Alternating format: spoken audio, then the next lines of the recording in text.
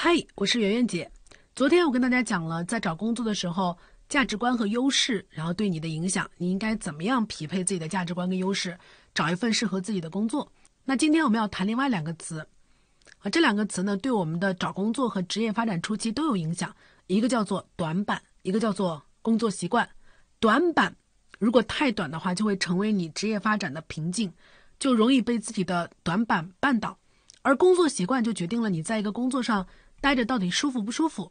啊，咱们先来说短板，啊，为什么说克服短板对于找工作特别重要？哈，我们先不说短板的定义啊，什么不提这些，我跟大家举一个案例，我在非你莫属大概当了就半年多，其实小一年的嘉宾了吧。然后我们每次中午一点钟开始录制，一直录到晚上十二点，在这过程当中呢，我们会见大概就是八到十个选手，最少八个，最多十个。很多时候我都发现有这样一个规律，就是第一个。出场的选手容易倒霉，也不是说每次都这样，但是好多次我都明显感觉到，就是他被不公平对待了啊！为什么这么说？我就拿最近我还记得的一个例子来举例哈。就最近我们就是录制的时候，第一个上场的选手呢是一个研究生，然后他是那种就出国留学回来的，国外的学校还行，但是在这个国内的这个学校就不太好啊，就是个二批本科。然后他整体的表达呀什么的都是属于比较正常的类型，也不是说特别突出吧，但是绝对值得他要的那个薪资，他也就要个六七千块钱，你知道吗？就是一个其实什么工作经验都还没有的这么一个小白应届生，然后按说起来薪资也不高，然后能力也还行，就一般都能找到一份工作的，但当天他就没有找到，然后为什么？因为他身上有一个缺陷，这个缺陷在录制的过程当中就是暴露的比较明显，就是他不爱做家务。然后刚好他妈妈也到了现场，就说到，就说他就在家的时候很懒，然后就是不爱动手，所以把他送到国外，就是希望锻炼一下他的就是自己生存的能力。然后确实，这个女孩子到了国外以后也挺努力的，然后在生活当中的各个问题也是自己解决的。其实一般情况下哈，我们不会太介意这个，就是会觉得有点减分，但也不至于说全场灭灯让他找不到工作。然后又上来一个小伙子，是第二个选手。那这个选手也是各方面都很一般，但是没有明显的缺陷，所以他就拿到了他想要的那份工作。但是就学历来说，他确实没有第一个女孩好，而且能力方面其实也没有特别突出。然后我就跟现场的老板我就讨论，我说你们有没有发现，就是你们一直到上到第二个选手、第三个选手的时候，你心里面才有个比较，然后你才会觉得说，哦，这个人值六千，那个人值七千，你心里面才有一个大概的谱。一般第一个选手上来的时候，如果这个选手身上有一个明显的缺点，你们就会灭灯。你们没有可比较的对象，你不会觉得说，哎呀，我这个选手虽然有这么一个缺点，但是他这方面的能力比前面那些选手要强。你们没有这个比较的话，就很容易因为一个选手身上有明显的缺陷就灭灯。他们后来反思了一下，说是啊，哎，好像真的是这样。为什么会这样？我跟大家讲，这背后是有一些原理的。这个原理呢，就是人们在做选择评估时候的心理动态。也就是人在做单独评估和做联合评估的时候的心态是不一样的。什么叫单独评估？就是我光看你，没有什么比较对象。那什么叫联合评估？就是我不仅看你，我也看下一个选手，我把你们放到一块比一比。然后联合评估跟单独评估的时候，人的心态变化是什么呢？我用一个生活当中的例子一举你就明白了。有一个由十个桃子组成的水果篮儿，在水果店门口大促销，但是这十个桃子里面有三个是烂掉的。请问你愿意出多少钱买这个水果篮儿？你可能说啊，我愿意出十块钱，对吧？我愿意出二十块钱，反正你心里面肯定有一个钱数，对不对？好，那我再问你，如果我给你五个完完整整的好桃子，你愿意出多少钱来买这个桃？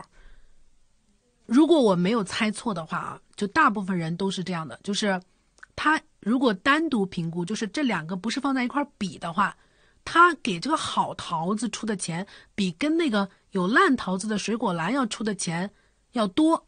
我说明白了吗？就当我做单独评估的时候，这两种桃子不放在一起比的时候，如果我发现一个水果篮当中有烂桃子，我就愿意给的少一点；如果是五个好的桃子，我就愿意给的多一点。但是你联合评估，你会发现什么？就是哦，其实这个虽然有烂桃子，但是其实还是多了两个好桃的，啊，所以其实应该给这个水果篮的价格更高。所以人在做单独评估的时候，就很容易被这个对象他身上的一个明显的缺点所吸引。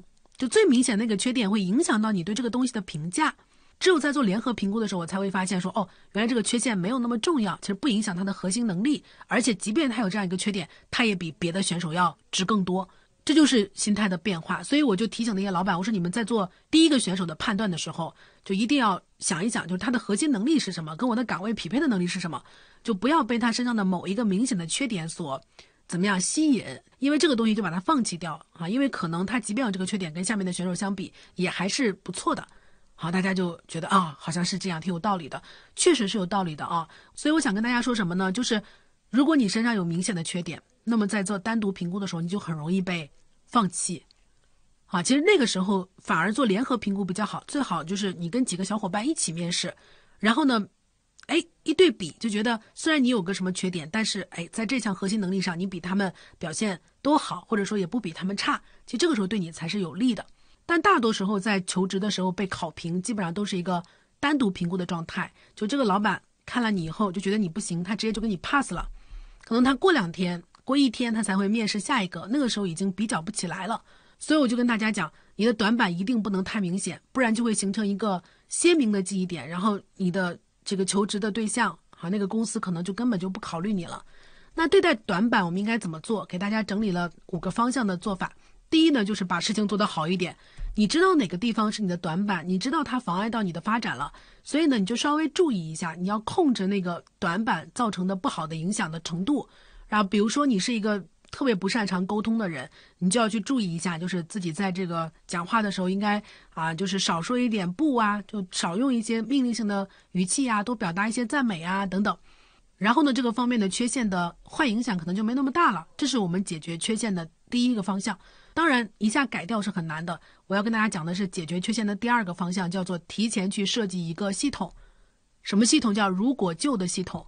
你知道你的缺陷很难改，因为它已经是积习难改了嘛。所以你一定要去设计一个如果旧的系统。就当这个情况发生的时候，不要想太多，就是把原来已经想好的应对方案给上去。比如说，你这个人最大的缺陷是什么呢？就是你跳槽跳的太多了，然后所以别人一看到你的这个过去的经历，就打算不选择你了。然后当他提到的时候，就如果别人问你说你为什么跳槽这么多次，你一定要什么提前把那个设计好的答案给他。你在来这儿之前，你在找工作之前，就对你身上的缺陷应该有个规划，设计一个如果旧的系统。就如果别人问到这方面，我就怎么怎么做反应，把它设计好，然后呢就可以帮助你减少这个缺陷对你的影响。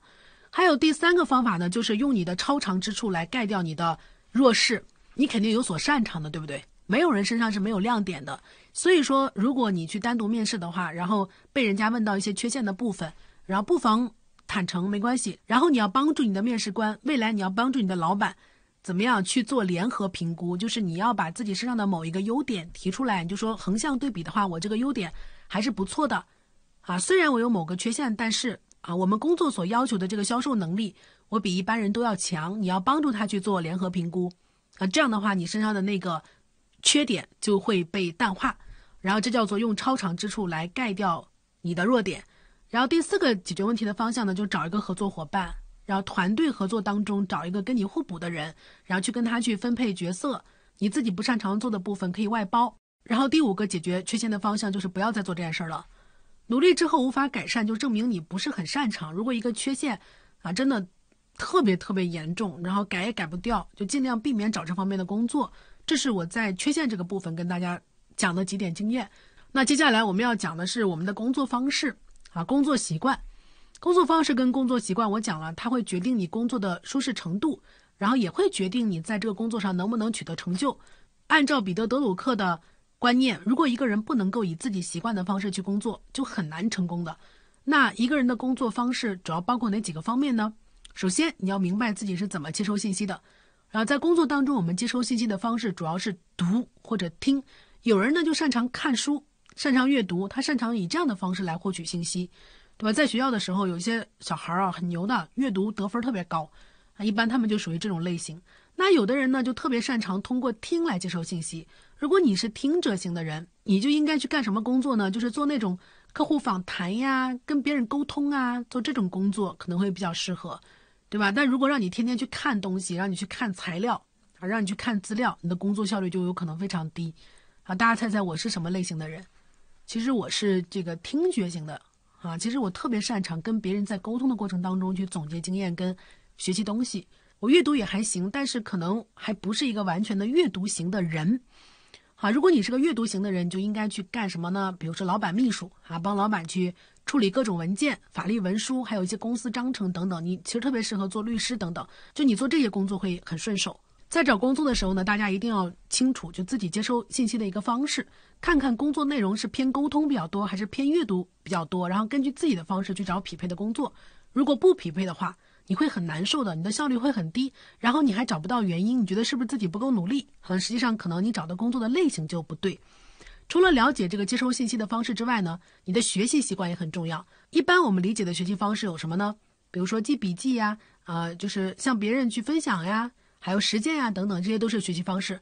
但每个人的主要的学习习惯都不一样，有些人呢就习惯通过实践来学习，有可能在学校的时候他的这个学习成绩不怎么好。出了社会之后呢，就反而表现得很好，啊，其实他是什么？他是那种实践类型的，他在做事的过程当中去学习，反而学得更快。所以大家呢，一定不要质疑自己的学习能力，应该去找到适合自己的学习方式，看看自己到底是属于记笔记学得比较快的，还是写东西学得比较快的，还是向别人分享学得比较快，还是通过实践学习比较快。这是我们说的，就是决定一个人工作方式的第二个方面，叫学习习惯。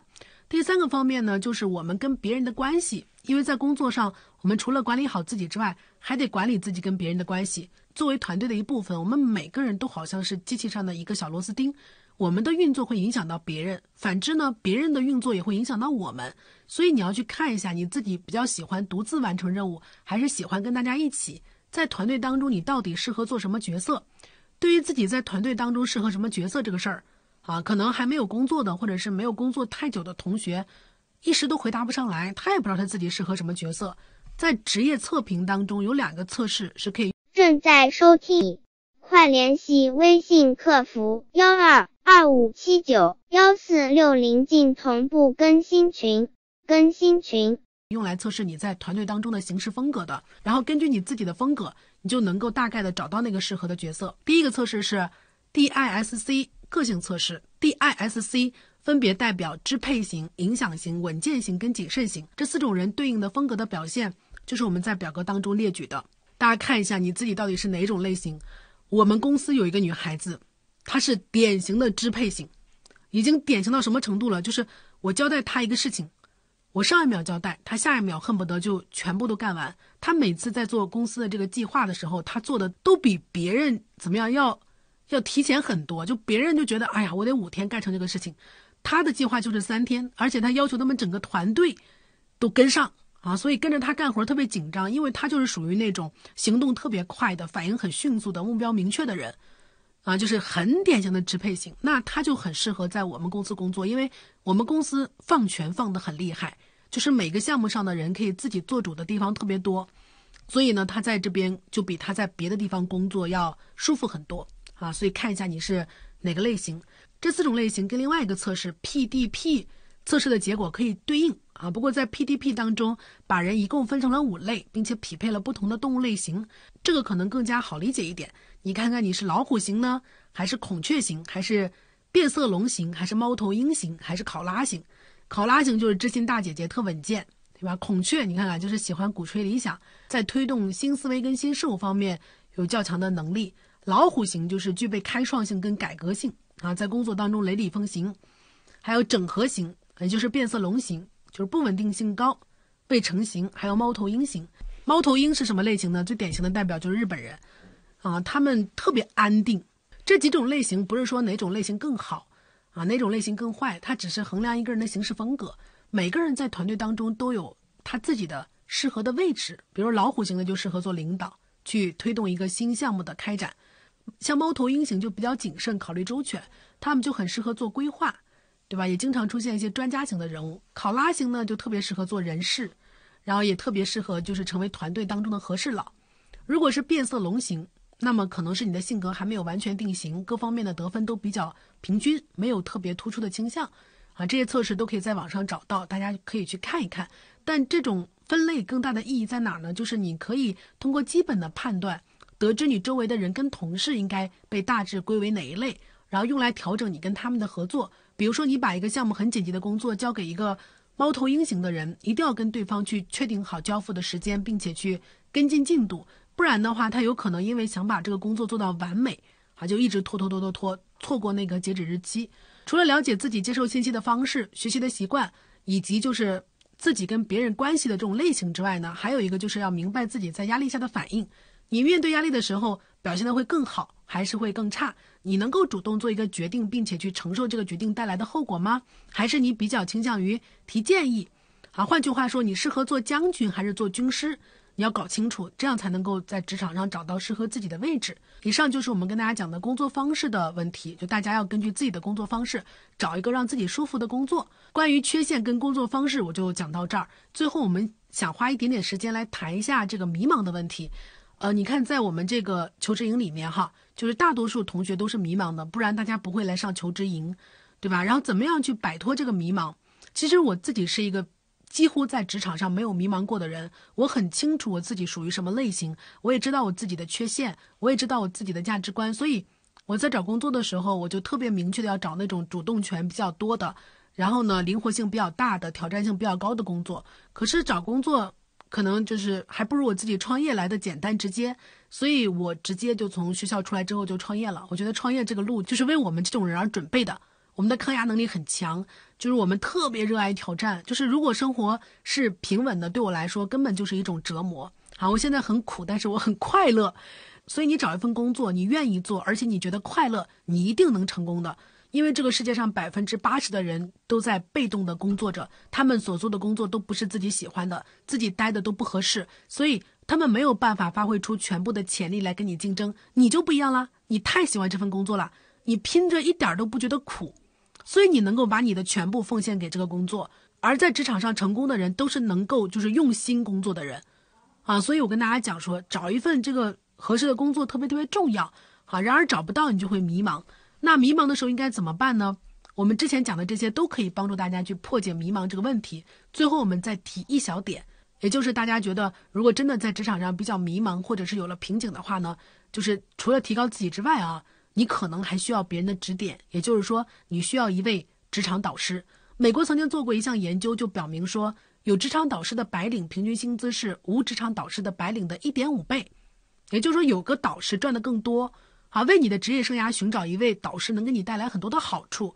你现在所遭遇的大部分问题，他可能都遭遇过，所以他提给你的这些建议跟想法，都是相对来讲比较靠谱的。你就可以避免掉很多的坑，你也避免掉会吃很多的亏。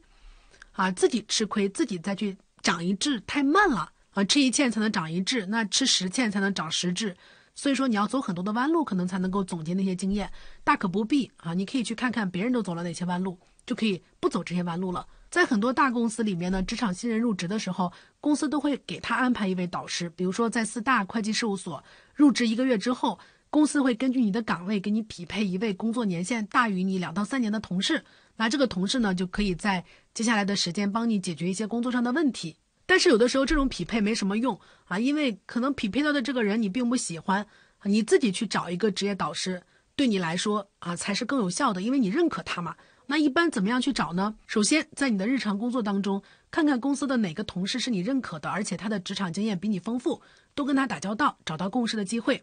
其次，在你的同行里面找，也许是你面试的时候遇到的那个。面友也可能是面试官，也可能是参加活动的时候遇到的同行。然后第三呢，就是学长学姐，工作年限不要比你大太多的亲友还有长辈。